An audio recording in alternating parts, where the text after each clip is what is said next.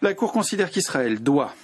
conformément aux obligations lui incombant au titre de la Convention sur le génocide, arrêter immédiatement son offensive militaire et toute autre action menée dans le, gouvernement, gouvernorat de Rafah qui serait susceptible de soumettre le groupe des Palestiniens de Gaza à des conditions d'existence capables d'entraîner sa destruction physique totale ou partielle. La Cour rappelle que dans son ordonnance du 26 janvier 2024, elle a, entre autres, prescrit à Israël de, et je cite, prendre des mesures effectives pour prévenir la destruction et assurer la conservation des éléments de preuve relatifs aux allégations d'actes entrant dans le champ d'application des articles 2 et 3 de la Convention sur le génocide. Fin de citation. Dans ces circonstances, la Cour est également d'avis que, afin de préserver les éléments de preuve relatifs aux allégations d'actes entrant dans le champ d'application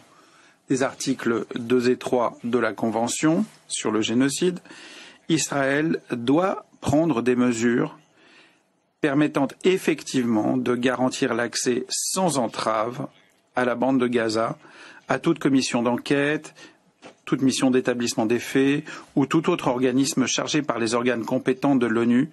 d'enquêter sur des allégations de génocide. La Cour considère également que la situation catastrophique à Gaza confirme la nécessité que soient immédiatement et effectivement mises en œuvre les mesures indiquées dans ces ordonnances des 26 janvier et 28 mars 2024 qui sont applicables à l'ensemble de la bande de Gaza, y compris à Rafah.